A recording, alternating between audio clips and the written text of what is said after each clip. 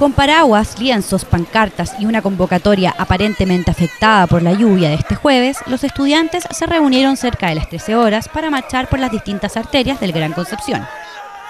Tal como estaba programado, los alumnos de las cuatro universidades adheridas al Consejo de Rectores, respaldados también por distintos trabajadores portuarios y otros sindicatos, llegaron hasta la intersección de las avenidas Paicaví con Los Carreras, por donde avanzaron hasta Prat para luego dirigirse a la Plaza de la Independencia. La movilización se realizó en completa calma y mientras avanzó por la capital penquista, el vicepresidente de la Federación de Estudiantes de la UDEC, Esteban Valenzuela, aseguró que si bien la lluvia le jugó una mala pasada, había muchos estudiantes marchando. Cabe destacar que la jornada de movilización de este jueves no se sumaron los estudiantes secundarios penquistas.